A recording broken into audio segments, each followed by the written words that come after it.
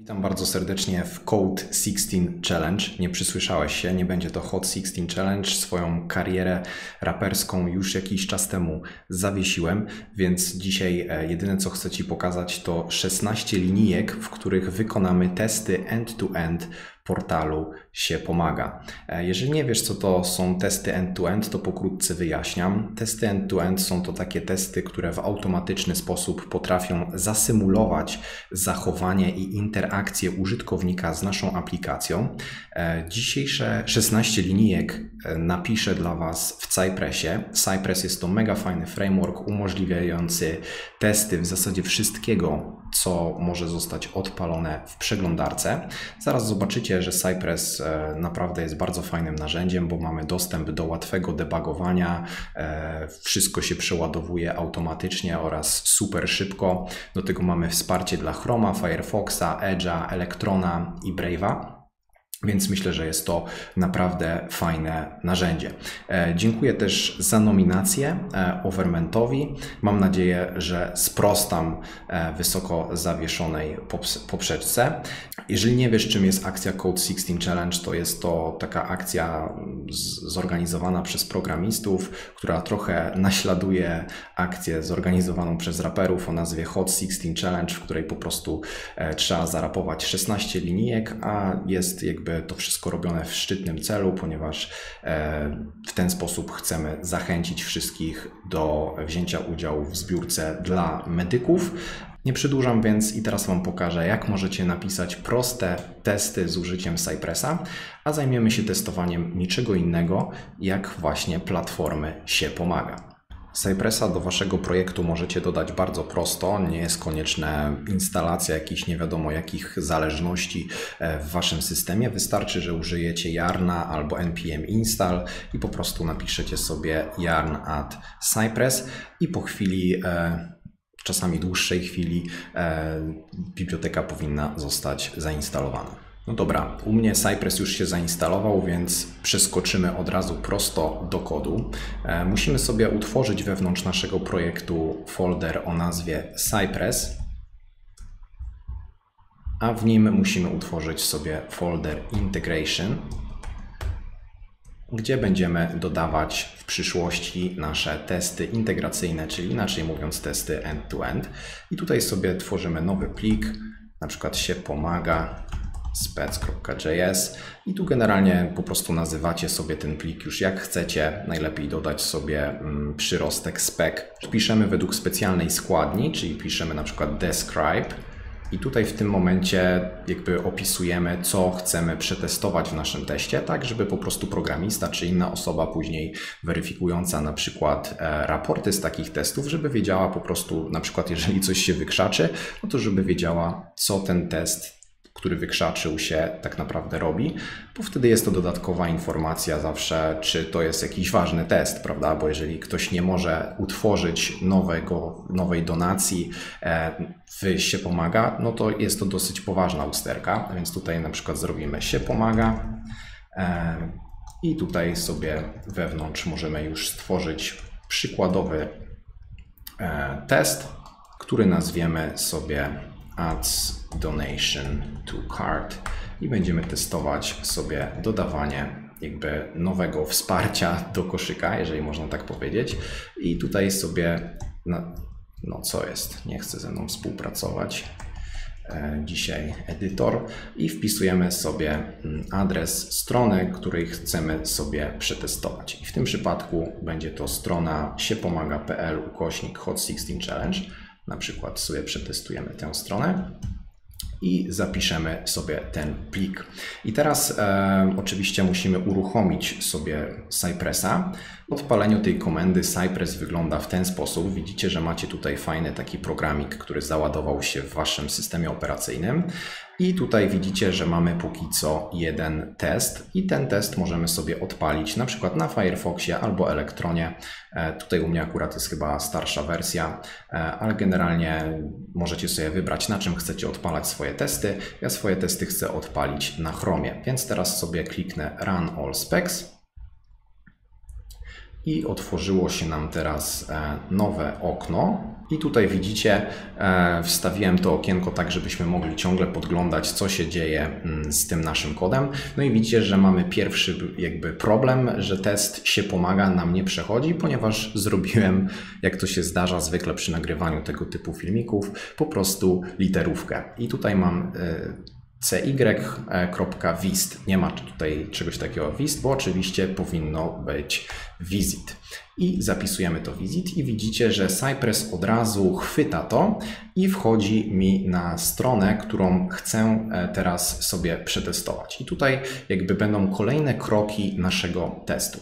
No i teraz e, tak naprawdę co my chcemy tutaj przetestować? Chcemy przetestować, czy w momencie, gdy kliknę na przykład wesprzyj, i wpiszę tutaj na przykład 100 zł, e, wpiszę sobie podpis fullstack.pl, e, później klikam wpłać teraz i chcę zaakceptować, chcę podać na przykład swój adres e-mail i chcę opłacić ten datek z użyciem e, bramki mBank. No i teraz zwróćcie uwagę, że normalnie w normalnym świecie, gdybyście pracowali nad tą aplikacją się pomaga i na przykład ktoś wprowadziłby tu jakąś nowy, nowy kanał płatności albo coś by zmienił e, w strukturze tej strony albo cokolwiek zmienił w logice biznesowej tego, jak działa koszyk, to za każdym razem tester musiałby wejść na tą stronę i po prostu sprawdzić, czy E, produkt może zostać dodany do koszyka. A my dzisiaj spróbujemy ten proces zautomatyzować i po prostu napisać do niego test. Więc test oczywiście rozpoczynamy od tego, że musimy odwiedzić stronę, którą chcemy przetestować i w tym przypadku jest to strona się pomaga. I widzicie, że tutaj mamy kolejne jakby kroki i w momencie, gdy sobie tutaj je mm, zaznaczam, to wtedy mam dostęp do tak zwanych snapshotów, czyli takich zrzutów, e, co się działo w tym teście. No i oczywiście zaczynamy od tego, że wchodzimy na stronę, e, którą chcemy przetestować, a później, co ja zrobiłem? E, później z tego, co pamiętam, kliknąłem sobie na przycisk Wesprzyj. Więc e, możemy sobie teraz zobaczyć, ładnie otworzyć to w e, Dev, DevToolsach. Tutaj jakby moim ulubionym featurem w Cypressie jest to, że mamy tutaj dostęp normalnie do DevToolsów i możemy sobie sprawdzić, jak nazywa się ten konkretny link i co tutaj w nim mamy wpisane. No i widzimy, że mamy tutaj przycisk, a w zasadzie link z użyciem atrybutu A, który mamy mamy, na, którym ma tutaj tekst wesprzyj. Więc w ten sposób musimy jakby powiedzieć Cypressowi, do czego my się chcemy tutaj dobrać. Więc teraz zrobimy sobie po prostu e, CY i tutaj wpiszemy sobie na przykład contains, contains i tutaj wpiszemy, że chcemy, żeby był atrybut A, e, znacznik A i chcemy, żeby on ten, ten atrybut miał nazwę wesprzyj i chcemy sobie na to kliknąć. I zapiszemy teraz to i zobaczymy, co się stanie tutaj z naszym e, kodzikiem. I widzicie, że mm, jakby nasz tekst, test failnął, ponieważ tutaj jest problem z tym, e, z tym e, atrybutem, że musimy tutaj w jakiś sposób wymusić na tym, bo tutaj z tego co widzę, ten element niby nie jest widoczny, tak tu Cypress wykrył, więc sobie wpiszemy force i na przykład true, zapiszemy i zobaczymy, że teraz już to zadziałało. I teraz zobaczcie, testy działają w ten sposób, że na przykład gdyby jakiś programista e, coś skrzanił i na przykład e, zrobiłby jakiegoś babola i na przykład sprawiłby, że ten przycisk nie byłby tutaj widoczny, to wtedy nasz test by po prostu nie przeszedł. Zobaczcie, wpisałem tutaj jakby, że strona powinna zawierać znacznik A z napisem support, a e, Cypress tego nie mógł znaleźć na stronie, nie mógł kliknąć w to, więc wtedy to powoduje sfailowanie testu. Więc jakby widzicie, że pisząc testy w ten sposób, jakby jesteśmy w stanie mieć pewność, że nasza aplikacja działa. Oczywiście czasami zdarza się tak, że testy przechodzą, a aplikacja mimo wszystko nie działa, ale oczywiście mówimy tutaj o takich sytuacjach, nazwijmy to poprawnych. Oczywiście ten kod, który dzisiaj Wam napiszę, nie będzie w 100% zajebistym, najlepszym kodem Cypressa, bo po prostu chcę Wam pokazać dzisiaj to narzędzie, a jeżeli filmik Wam się spodoba, to dajcie znać w komentarzach, a nagram dla Was więcej rzeczy związanych e, z Cypressem. Ale wracajmy do naszego testu. E, tym razem jesteśmy tutaj, no i chcemy po prostu zrobić nic innego, jak wpisać tutaj kwotę um, wsparcia, więc sobie sprawdzimy, jak tutaj ten input się nazywa. No i input się nazywa payment amount i sobie go po prostu teraz e, tutaj wklepiemy, a wklepiemy go w taki sposób, że znowu posłużymy się CY, czyli to odwołanie do Cypressa, get i sobie tutaj wpiszemy, że chcemy input, który, którego nazwa jest równa mm, temu, co tu właśnie skopiowałem e, i chcemy w tym inpucie sobie wpisać 100. Czyli chcemy po prostu wpisać do tego inputu stówę, czyli chcemy zasymulować takiego bardzo hojnego e, darczyńcę, który wpłaci tutaj stówę. Teraz chcemy tutaj w, w podpisie wpisać, e, żeby było widać, kto jest e, taki bardzo e, hojny, więc tutaj znowu musimy się dobrać do inputa e, i ten input kolejny, który jest tutaj, możemy sobie sprawdzić. Może ja sobie to otworzę tutaj na dole, e, żeby nam to było bardziej widoczne. I teraz e, ten podpis e, musimy się do niego dobrać przez name payment signature. I tutaj sobie to skopiujemy i chcemy tutaj wpisać fullstack.pl. No i zapisujemy, zobaczymy co się dzieje z naszym testem. Klikamy, mamy wpisane full stack. No i teraz chcemy tak naprawdę mm, przeskoczyć do koszyka darowizn, więc chcemy to po prostu dodać to do naszego e, koszyka. No i teraz musimy zrobić coś innego, bo tutaj jak widzicie symulowaliśmy wpisywanie czegoś w formularz, a teraz musimy zasymulować nic innego, jak po prostu kliknięcie w ten oto ładny przycisk, więc zrobimy to dosyć podobnie. Też mamy tutaj do użycia CY, tutaj sobie weźmiemy tym razem musimy sobie sprawdzić, że mamy na przykład strona zawiera przycisk, czyli baton, który ma labelkę do koszyka darowizn i chcemy oczywiście sobie kliknąć w ten przycisk. Zapisujemy nasz test, patrzymy co się dzieje. E, i widzimy, że wpadliśmy teraz do koszyka. No i tutaj teraz kolejna rzecz, którą e, byśmy chcieli przetestować, to na przykład, że ta kontrolka tutaj, e, która wskazuje, że w koszyku znajduje się jeden przedmiot, czy jedna donacja, czy, czy jak to tam, czy jedna darowizna, o może tak lepiej można powiedzieć, to sobie znowu napiszemy contains i oczywiście już tutaj wprawne oko widza może widzieć, że się zbliżamy powoli do końca, bo już mamy naklepane 10 linijek i tutaj sobie zrobimy div UI i na przykład, że mm, jest o tutaj zawartość 1 i ten test po prostu upewni się, że potem, gdy coś dodaliśmy do koszyka, to użytkownik faktycznie otrzymał informację o tym, że coś znajduje się w koszyku. Jeżeli tutaj jakby w HTML-u po tej naszej akcji nie będzie diva o klasie UI, który ma zawartość 1, no to test oczywiście się wysypie i zgłosi to nam, że coś jest nie tak. I teraz co chcemy? Chcemy pójść do opłać koszyk darowizn, e, więc teraz znowu będziemy się musieli dobrać przez atrybut A i tutaj tym razem będzie mm, opłać koszyk darowizn.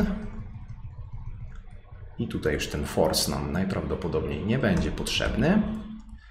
I widzicie, że te wszystkie operacje są wykonywane sekwencyjnie, więc jakby nie musimy tu pisać żadnych promisów, żadnych callbacków, żadnych async awaitów. Po prostu e, krok po kroku Cypress idzie po naszych naszych instrukcjach. Dodatkowo fajna opcja jest taka, że na przykład jak tu bym wpisał słowo testowe dupa, e, to zobaczycie, że Cypress ma bardzo takie fajne e, zachowanie, że Cypress przez chyba 5 sekund, około 5 sekund, czeka zanim sfailuje test, czyli na przykład jeżeli wykonuje się jakaś akcja asynchroniczna w tle, która powoduje, że coś jest po chwili dostępne na waszym UI-u, to jakby test od razu nie jest failowany, więc ten test po prostu czeka, aż UI e, zmieni się po 5 sekundach jeżeli faktycznie nie zmieni się i dalej jakby nie ma e, poszukiwanej rzeczy, czyli tej na przykład dupa koszyk darowizn, to wtedy dopiero failuje. I to też jest bardzo fajna opcja,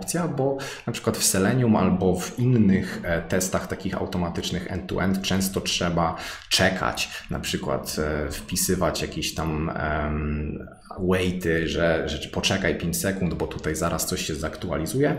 Natomiast w Cypressie jest to bardzo fajnie mm, rozwiązane. Więc jesteśmy na opłać koszyk darowizn.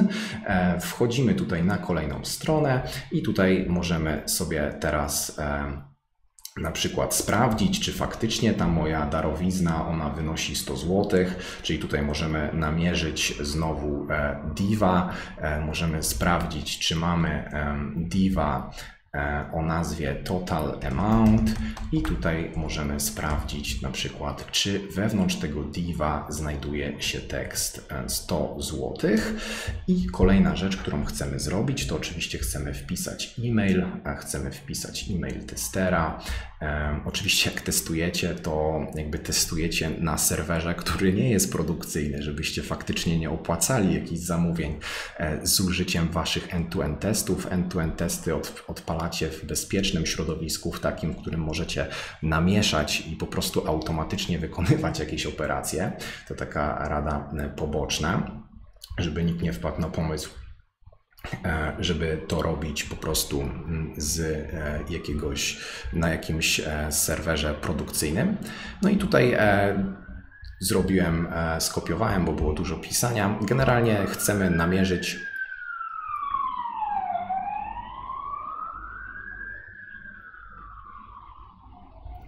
Generalnie chcemy namierzyć po prostu inputa i wpisać do niego Artur Tester. Później w kolejnym kroku chcemy oczywiście kliknąć na ten przelew internetowy, ponieważ chcemy opłacić to z użyciem mBanku, więc e, jakby chcemy sprawdzić, że faktycznie e, nasza strona posiada tym razem mm, Diva, który ma po prostu w sobie napis przelew internetowy. I tutaj znowu, jeżeli coś by było nie tak z tym UI-em, jeżeli nie dałoby się w to kliknąć, albo kliknięcie na przelew internetowy jakby nie spowodowało wyświetlenie się listy tych tutaj dostępnych kanałów płatności, to oczywiście test także by to wyłapał. I tutaj sobie piszemy przelew internetowy, klik i oczywiście później chcemy sobie złapać na przykład mBank, E, mBank na przykład możemy sobie złapać w taki sposób, że możemy kliknąć po prostu na przykład na image, który ma title e, mBank, więc użyjemy tutaj znowu tego słynnego polecenia get. Tu chcemy złapać image, tu chcemy złapać po title. Title wynosi w tym przypadku mBank e, i oczywiście chcemy nie wpisać coś, tylko po prostu sobie w to kliknąć. E, i zobaczmy, jak nasz test póki co e, przebiega. I coś tutaj poszło nie tak. Aha, e, taką samą sytuację mamy, że Cypress wyłapał jakby sytuację, że nie ma pointer events na tym, więc też kliknięcie na taki element trzeba wymusić. Tutaj widzicie, że jakby mm, Cypress daje nam bardzo fajne e, podpowiedzi. Jest to naprawdę super narzędzie. E, no i mamy teraz, widzicie, oznaczony ten transfer i teraz oczywiście ostatnią rzecz, jaką chcemy zrobić, bo widzicie, że już mamy 15 linijek, więc w ostatniej linijce mm, możemy sobie po prostu wpisać kliknięcie w tą labelkę. Może to powiększę troszeczkę, bo jakby chcemy teraz kliknąć w to miejsce i oczywiście chcemy mieć możliwość przejścia do e, płatności. I tutaj możemy sobie złapać, że to jest jakaś tam labelka, tak? Czyli po prostu możemy sobie sprawdzić, że mamy e, labelkę, czyli e,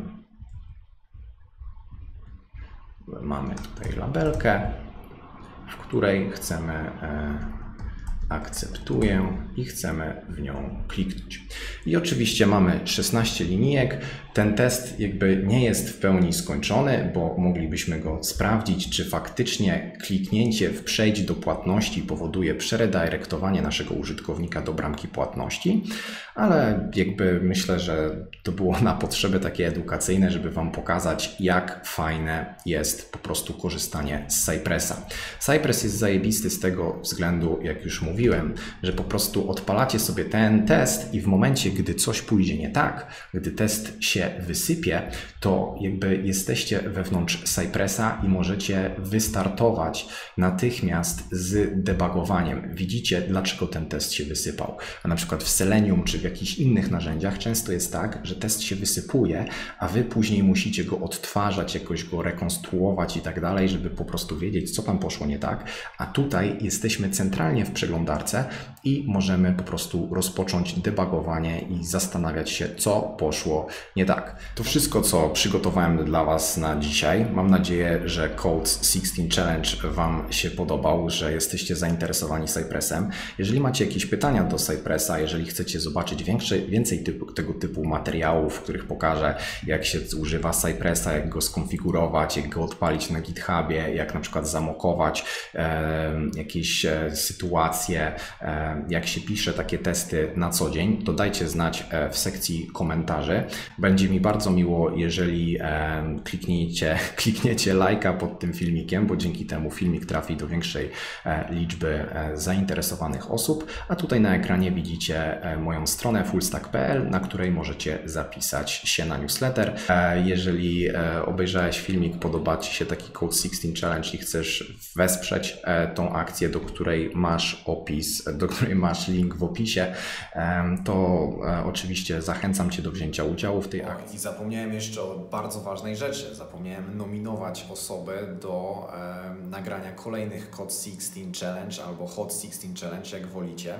Chciałbym nominować e, Piotra Kowalskiego Piecioszkę, z którym zaraz w ogóle mam live'a. E, chciałbym nominować e, Macieja Kofela oraz Web Dev Insidera. Trzymam za Was kciuki, chcę zobaczyć Wasze szesnastki. Do zobaczenia.